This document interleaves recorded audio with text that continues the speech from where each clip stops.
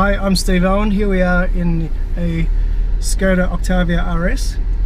We had to put it through its 245. paces. 245, don't forget that. It's very important. And uh, what do you do in your day job? Uh, a steering wheel attendant normally, so luckily I've got one in my hands at the moment. Steering wheel attendant. Are you any good at it? Uh, Moderately so, I hear. every now and then I slip off the brake pedal and Do you? put a good lap together. Yeah. Now, um, you just told me that you're um, Jesus Christ, you're going much faster around here than I did. It's good little That's car. that's the thing with professionals. That um, brake is all like every corner is just about an emergency brake. Absolutely, like on the limit every single Yeah. time. Whereas I, I I can't bring myself to do that. Now, what mode have you got it in? I'm, in, I'm using sport mode at the moment, Yep. so it just stiffens up the suspension, makes the, uh, the down changes a little bit more aggressive, holds the roads a bit longer. Yep.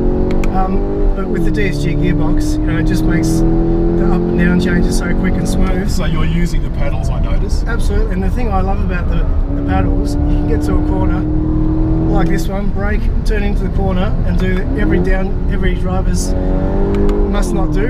Downshift in the middle of the corner, it auto matches the revs, and Yeah, yeah, yeah. away you go. Because you lose power otherwise. Well, and it's just it, you can carry more speed into the corner and a taller Yeah. gear. But great ABS in this car too, so I don't mind using it in a big, big sweeping brake like this. wasn't game to do that. And just a, the gentlest, gentlest drift. Just a little bit of tire noise is good. Yeah. A lot of tire noise is bad. So Yep.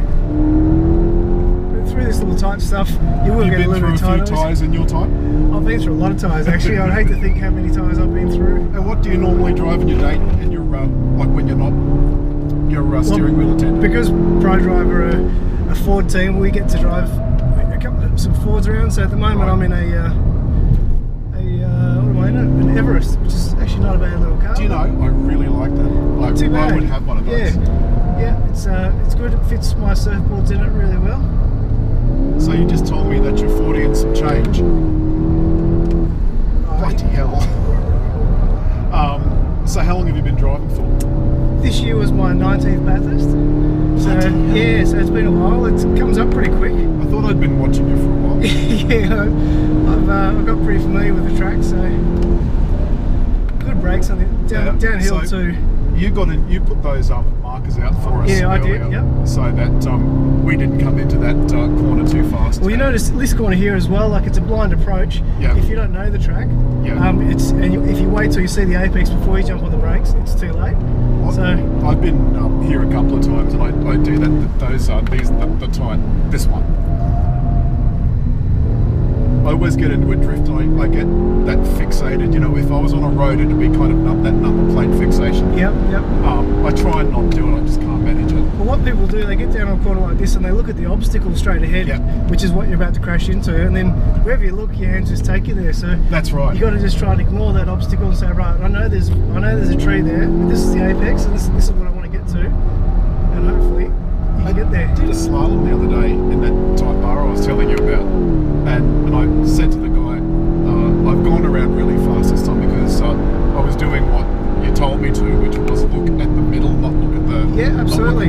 That- That's that's slalom exercise. That's exactly what that's designed for, and that just proves a point. Because as soon as you start looking at those cones, you start getting them. and the next time round, I intentionally looked at the cone. Sure enough, I hit it. Yep, absolutely. I thought, geez, he knows what he's talking about. uh, so, how do you find this um, as opposed to what you drive professionally? It's I mean- a lot softer, obviously. It is, but the good thing about these cars, you can drive this around a racetrack, and you can also drive it down the shops to get milk as well. on you know? the same tyres. Yeah, on this, like this is all standard moment. Some of the faster cars that I get to drive around racetracks, you know, are amazing. They've got great downforce, and you know, Yeah. but they drive quite badly to be to be honest. You know, But Whereas you wouldn't thing- drive that. You, you wouldn't want to drive that on a normal road. Well, unfortunately, I need to save a bit more to be able to have a track car and a road car. So for me, it's it's got to do both. So, like, And you'd have to pay for it. exactly right. I think you might feel very differently about taking cars to tracks if you, um, uh, you know, had a, a a milk bar you had to pay for all the tyres and the fuel. And all that There is something quite nice about wearing out someone else's brakes and tyres. That's why I like track days. Exactly right. I don't have to pay for them, and I never do them on the bike. So um, you find this as a as a road going track car uh, it's soft enough to be used every day. Yeah, it just it drives nicely. We, we drove it here from Sydney. It's Yeah. you know it's beautiful down the motorway. And that uh, that that traffic on the way up was uh, just appalling. Well, unfortunately, if you live in Sydney, that's what you've got to Yeah. deal with. So, Which is why I quite like the um, the active cruise control. I just Yeah. left that on and let it do its yeah, job. yeah, exactly. You're giving me a facelift. This is good. I, I need what I need to do is have you all the time. When the picture's about to be taken, gun it. Because of the G forces. Yeah. It's Actually, a facelift. quite- it's, it's surprisingly good under brakes. It is. The G's well, are I- I know, one thing I noticed is that you're much harder on the brakes than me. But um, Yeah, like down downhill braking like that. That's that's making some serious G's. it is, and also um, that uh, it's uh, swiveling remarkably little, well, relatively speaking. The, You know, um, it's, it's not um, not trying to pull itself out of line. No, and because I've done a few of these track days now, you get a feel for the, the fantastic electronics you've got behind you in case Yeah. you get it wrong. Now you've we- left all the electronics on except for what goes off in um, in VRS mode. Yeah, so in, in, in sport mode, it, it dulls it down a little bit.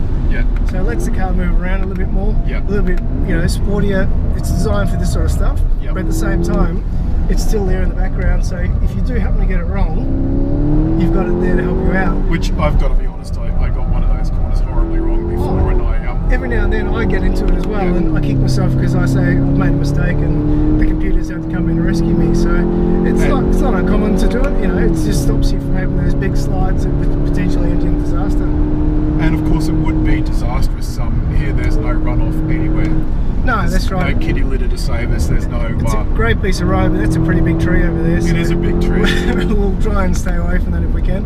I'd, look, I'd appreciate that because you did on my side. Or more's the point, I'm sure you wouldn't hit on your side. No, it's uh, any tree versus a car is a fairly bad argument.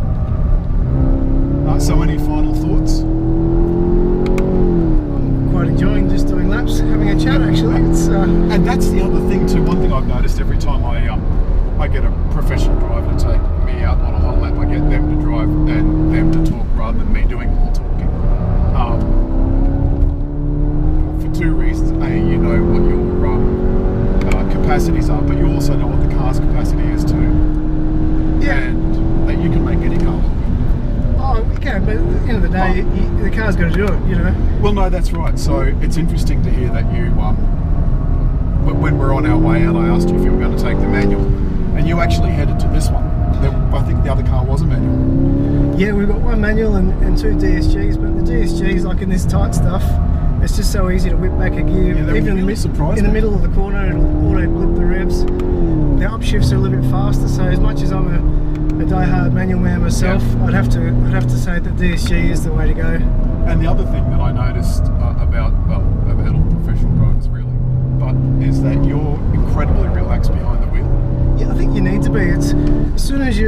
you as soon as you get that big rush of adrenaline and you start hanging off the wheel and doing these ones on the wheel, you're losing balance with the car. The smoother you can be on everything, the better it is, and the more grip you've got. When you've spent all that time trying to set it up for a corner, the last thing you want to do is stuff it up right in the middle of it. Yeah, exactly right. And you, you listen to some of the best drivers in the world, like Schumacher and those sort of guys, Yeah. and people are- people Maybe think so he's well, he probably still drives right if he want, if he if he ever wakes up. But Yeah. uh, it, I've heard numerous stories about how how he sounds like he's having a cup of tea in the race car. Yeah, yeah, yeah. Well, actually, I got um, Alan Jones to take me around um, Mal- Mallala, Yep. Yep. Um, in a GSF, and now he's seventies ish, and it was uh, he's one Still of those. drives all right. He does, uh, uh, and he's you, you wouldn't know that he wasn't having a beer on the on the veranda, but geez, he takes no prisoners. No, no, that's right. And I mean, he's been racing for 50 years, you know, so yeah, yeah. just one of those things that it's just natural to him. He, could find apex in the dark, you know. He's just that good. I, you know, look, I've had so many uh, professional drivers explain to me where an apex is and what an apex is, and I still can't find it. No, slowest part of the corner. Yeah, I know, mate, but go- go and stand there. Go and stand. And the only time I ever find it is when you've been out beforehand and put a cone Cone, on, cone there, yeah, yeah. Which I appreciate greatly because um, I'm the first to admit I'm a crap driver. But but then what happens when we By take comparison. when when we take the cone away? Then you're on your own again. So it, all we're doing is just from from having driven around so many different racetracks, is just putting a mental cone on the track yourself. Yeah, you know? like yeah. it's still we're still using the same reference point. Oh no, absolutely. But it's it's uh, where where you put it is not where I think it's going to be. Yeah, yeah. and I, okay. you know, I try and, and, and you know, I'm trying not to look like an idiot yeah, as well. Yeah. But then I kind of go and I realise how crap I really am. No, that's well, that's what we're here for. If you want to Yeah. go and do some more laps, you're more than welcome to. There's, well, I always, always enjoy just being the passenger. It's the only time I like to be in a car and a passenger. You were surprisingly good, actually. Me? Yeah, Oh, I'm like that all the time. Why are some people not relaxed? yeah. A lot of pe- lot of people. There's a lot of screaming and yelling and Really? yeah. I could do that if you like. I mean, if, it'll make you feel better. Well, some, sometimes I don't know whether to be uh, to take it as a, an insult that your driving's that bad that you're scaring people, or take it as a compliment